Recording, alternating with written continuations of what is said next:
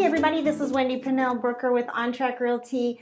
Um, I just had a really fun evening tonight out showing um, houses out in Mansfield. Um, and it was just a beautiful property, a $700,000 property, two and a half acres.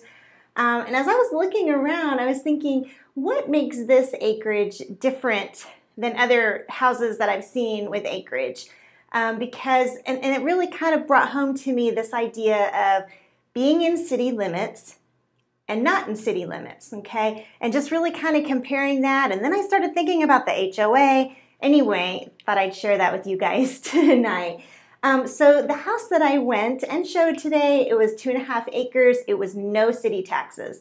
So that's something you need to think about. If you're the type of person that you like and you want to have, you know, a house with acreage, hey guys, if you buy outside of city limits, there's no taxes, okay? There's no city taxes. You still have the other taxes, but you don't have the city taxes. So that's a huge plus. Um, along with that, though, goes the idea of ordinances and code enforcement, okay? So when you buy outside of city limits, you may find out that you just really do not like what is in your neighbor's yard.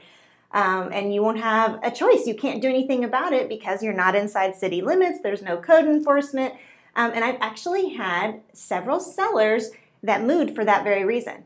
They're like, man, my neighbor across the street has like 10 junked out cars in their front yard, and I'm tired of looking at it. Okay? Crazy, right? At any rate, that's what you'll get when you buy outside of city limits.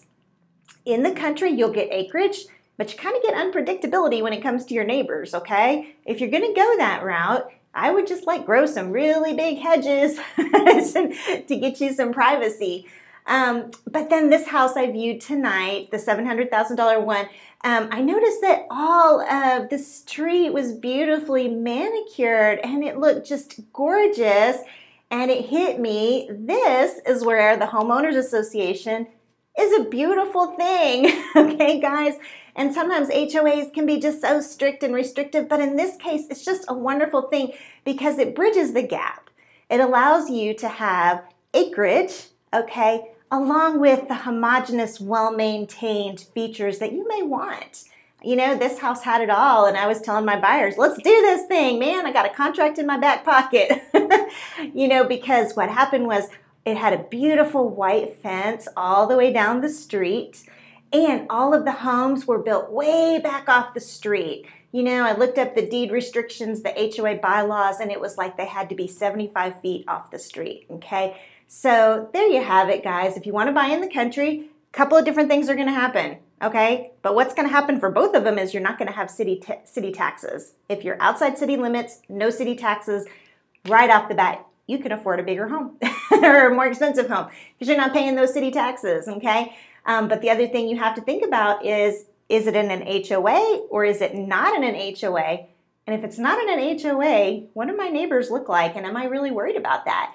Like if they have a ton of, you know, cargo trailers, or what if they pull a mobile home in on the side? Are you going to have issues with that? When you get acreage outside city limits, you have to think about these those things.